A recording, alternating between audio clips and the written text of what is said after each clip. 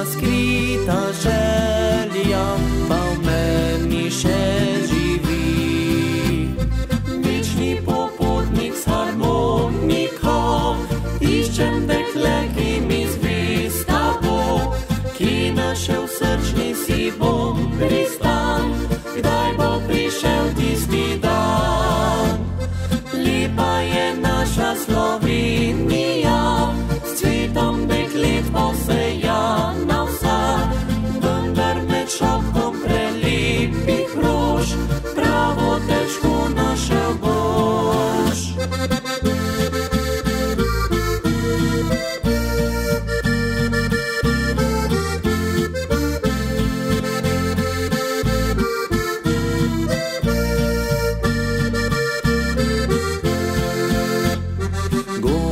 Vrtec veseljak sem in zvisto imam srci.